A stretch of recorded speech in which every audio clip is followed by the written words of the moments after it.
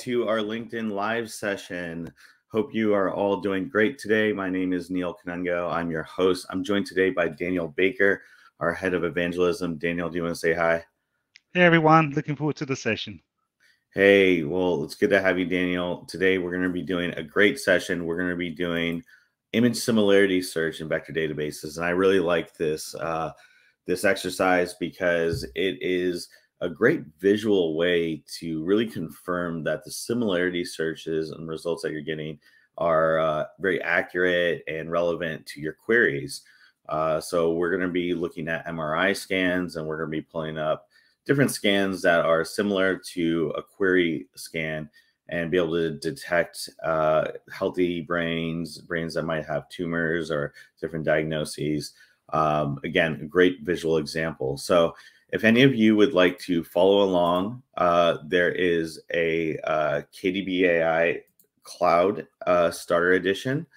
And so as we get started, you can go ahead and sign up for uh, KDBI uh, Cloud Starter Edition by going to kdb.ai in your browser. And at the top right, you'll see the sign up. And there, you'll be given a sign up form. Fill out that form. You'll be sent an email that you click on and with that email, then you'll receive one more email that will show you how to log in uh, with uh, cloud.kdb.ai.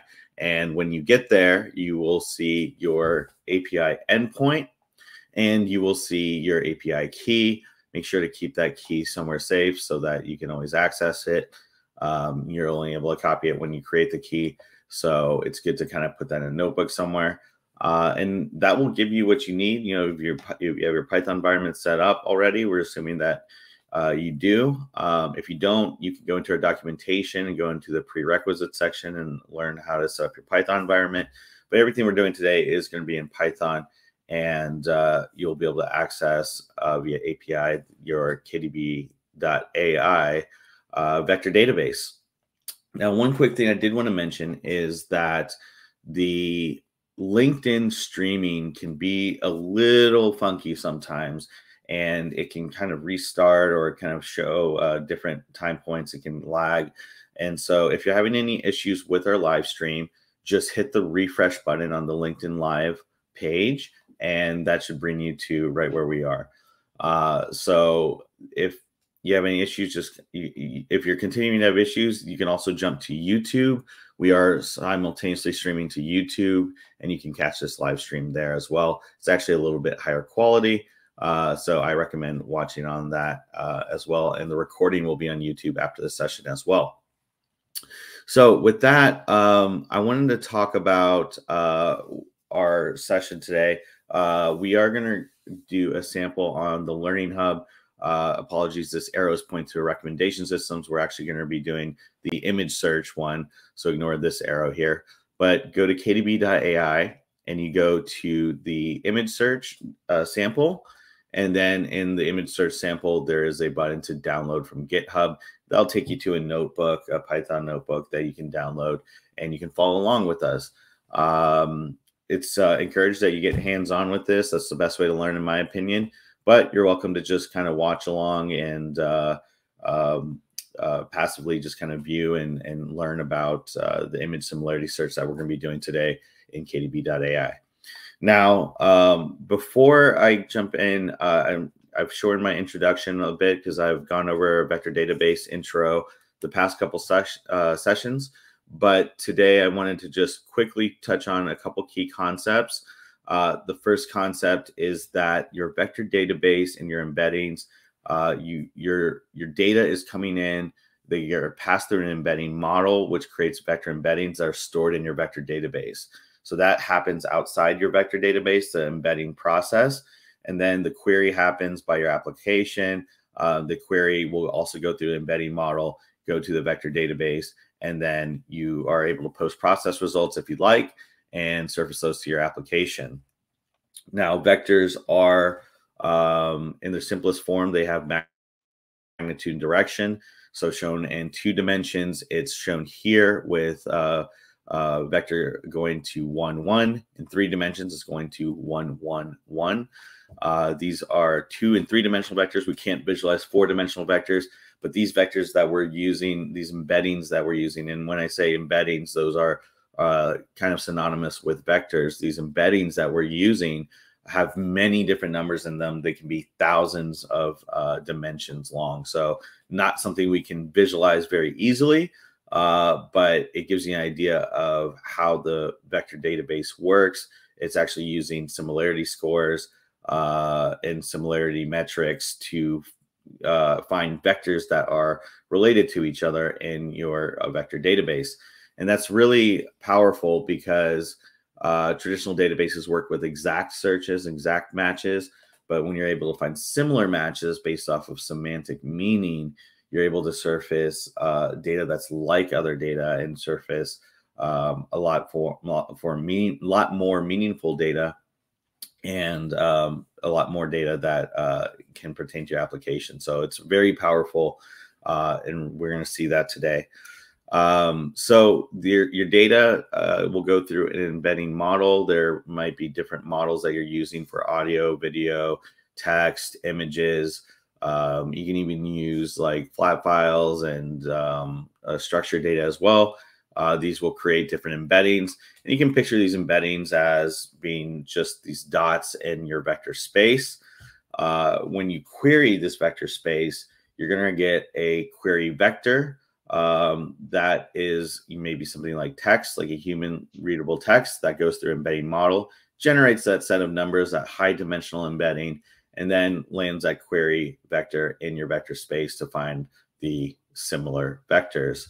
Uh, so this uh, is showing finding the three nearest vectors to the the three nearest embeddings to the uh, query vector.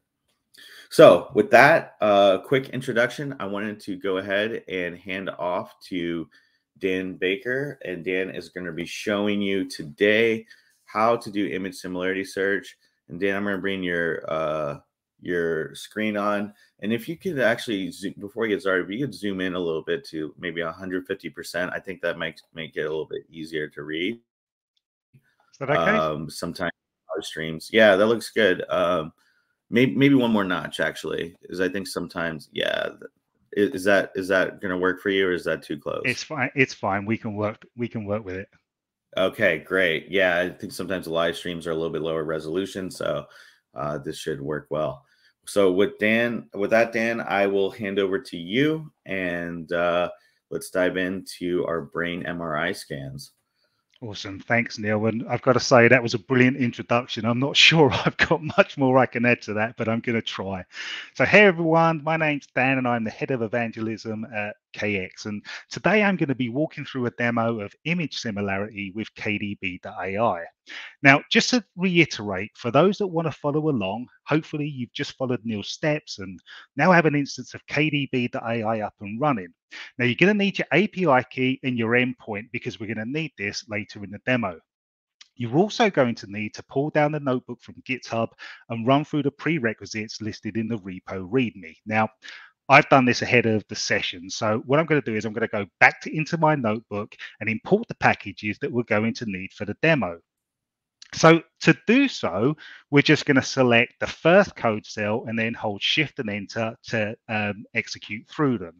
Now, you may end up getting a TensorFlow warning. Don't worry about this. This is predominantly complaining about GPU drivers and will not affect the demo today in the slightest. Okay, so I'm going to navigate through. We've also defined a couple of helper functions, and this is going to be used to visualize our images in the demo. Now, as Neil said, we're using Python, and I'm going to assume a basic level of Python understanding. So what I won't do today is go through each code cell line by line. Instead, what I'm going to do is conceptualize the ideas and the rationale behind what we're doing. So with that, the data set that we're going to be using today contains a series of brain scans that have been pulled down from Kaggle. The rationale being that when we apply it to a powerful vector database such as KDB.ai, medical professionals will be able to compare scans against others and hopefully help diagnose tumors. Now, to save time, we've taken the liberty of resizing the images so that they're optimized for model training. We've also defined the pixel intensity and renamed the images to correspond to the tumor type. So with that, let's go back into the notebook. And what we're going to do is we're going to extract our image file paths and then use the plot image function to visualize the results. So again, back into our notebook, we're going to run through the cells.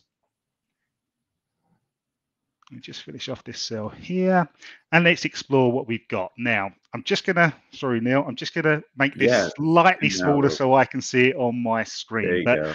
what we end up with is four categories. We've got meningioma, which as you can see is quite obvious in this large um, tumor here.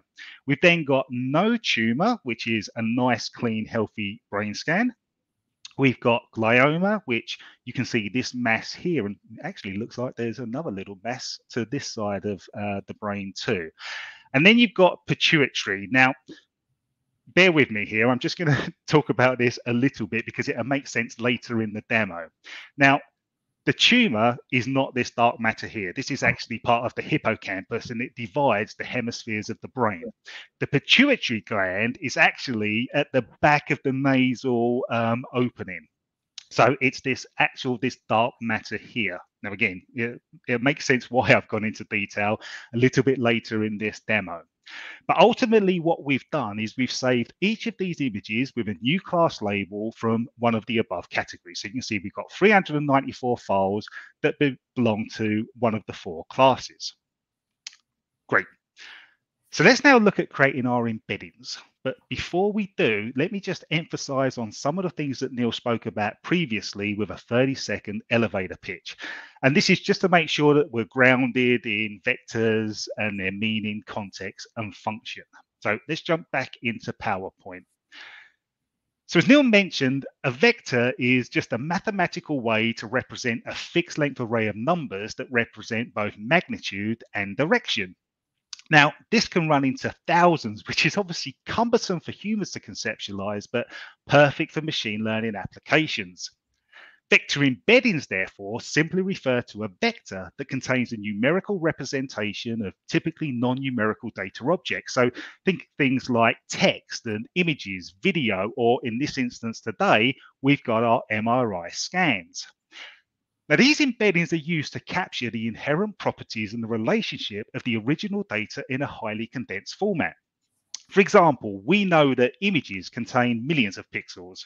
Each will have a unique color, hue, and contrast. So our embeddings can therefore be used to encode the relevant information about the data into a lower dimensional space. And I guess the reason we do this is it ensures efficient storage, retrieval, and computation. Now, to create our embeddings, we need to transform our data through an embedding model. And again, as Neil said earlier in the session, there is a whole bunch of ways that you can do this, and it depends on the type of data that you're trying to convert. Because we're looking at images or MRI scans, which is effectively an image, we're going to be using ResNet 50.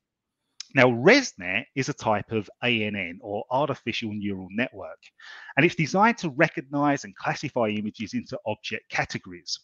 It does so by analyzing the features of an image and then using them to make predictions about what the image contains.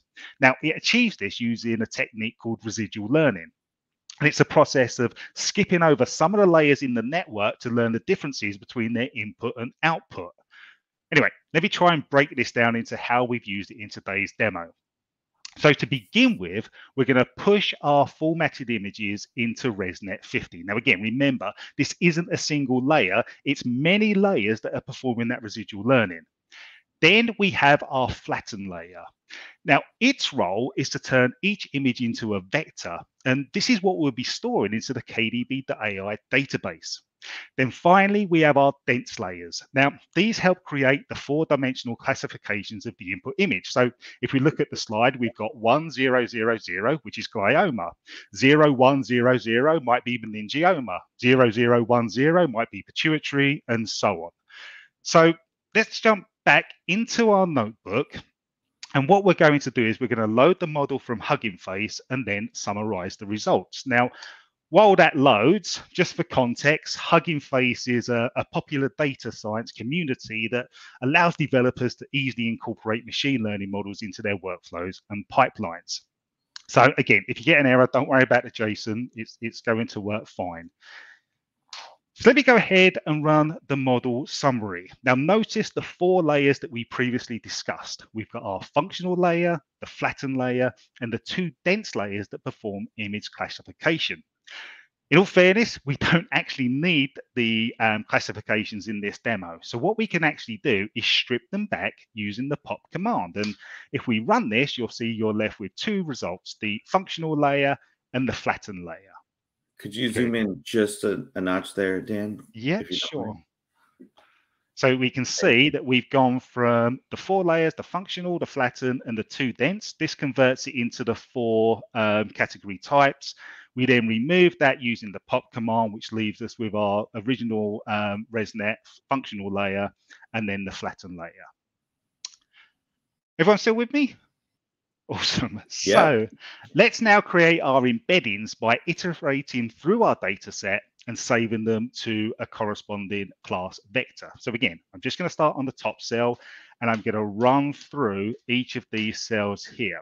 Now, bear with me, this is going to take a little bit of time. What's happening here is all the images are being pulled in. So ultimately what's going to happen is it's going to get our embeddings, it's going to retrieve the class label, it's going to set the tumor types, it's going to store the files into alphanumeric order. And then finally, what it's going to do is it's going to output the files via a data frame. So what we would hopefully, or what we would expect to see at the end of this is 394 files um, that sit within three columns. You'll have one for the source, um, one for the class, and then one for the embedding. So we're nearly there. We'll just give that a few more moments. And that is just finishing now always takes longer when you're live, right? So we're yeah. just getting there. So 394, we can see that's now being created. And as we suspected, we've got our 394 records broken into three columns, one for our source, one for our class, and one for our embedding.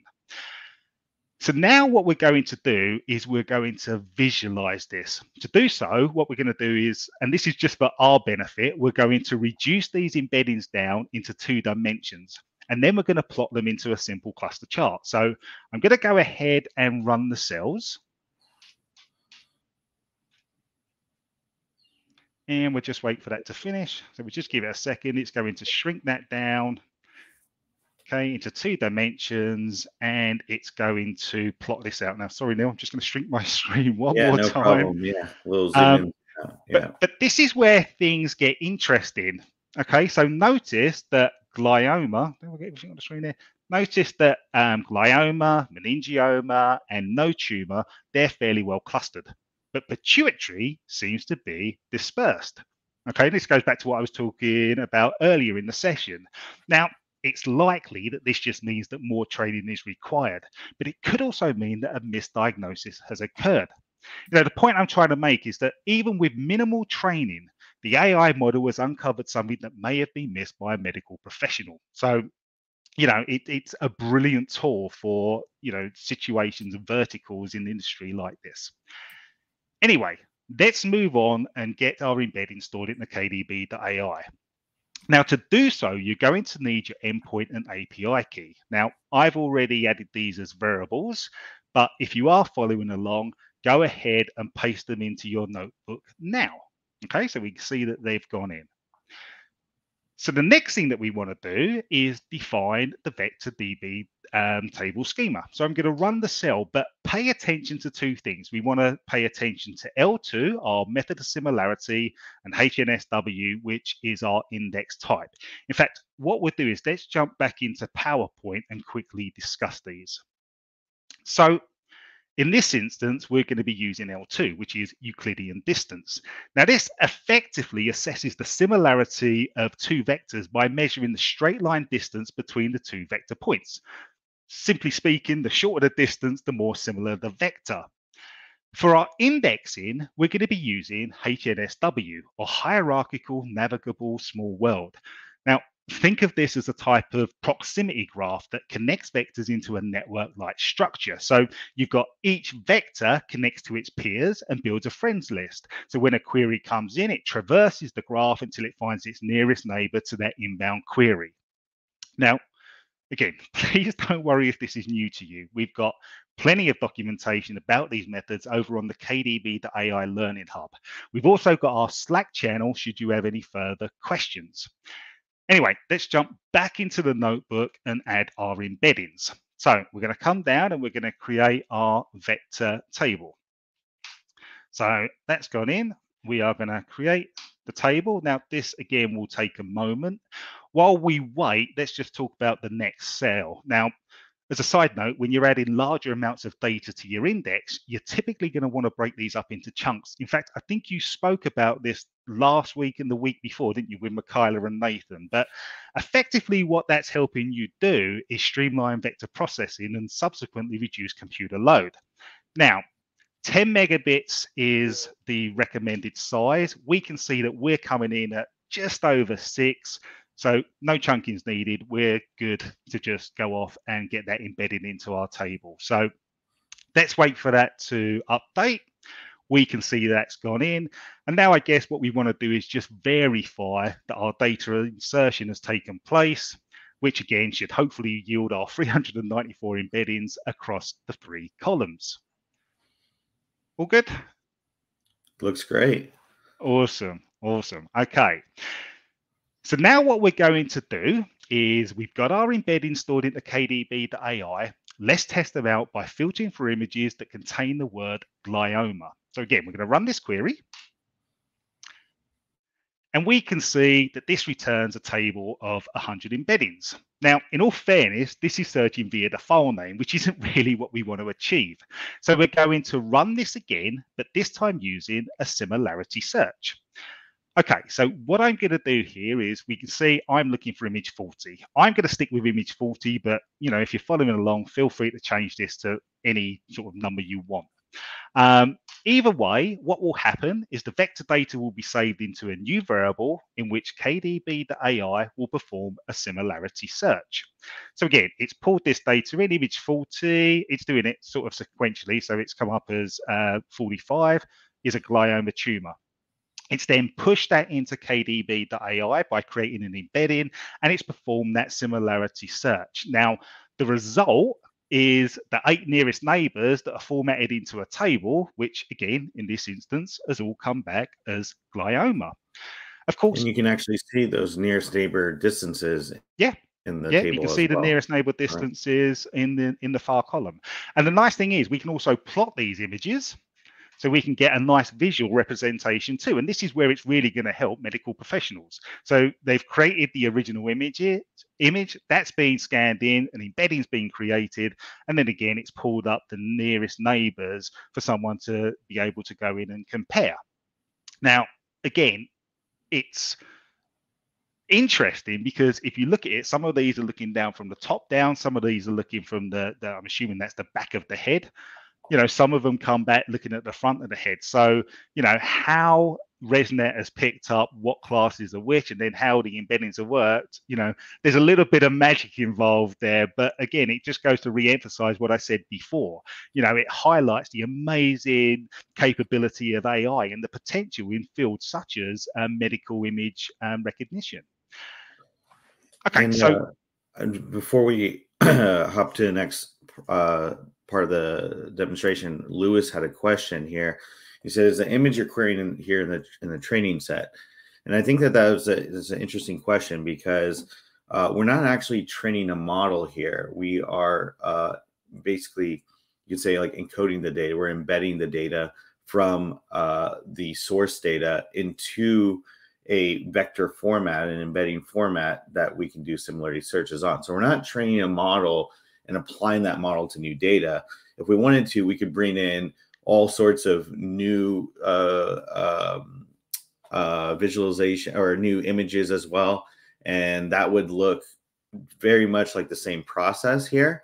But all you're doing is taking those images and you're putting them through the embedding model, and then you're finding similar uh, images from that. So um, the embedding model does that the actual encoding, uh, and um, you're not again. I, I, won't, I guess, repeat it uh, too many more times. You're not actually training a machine learning model in this instance.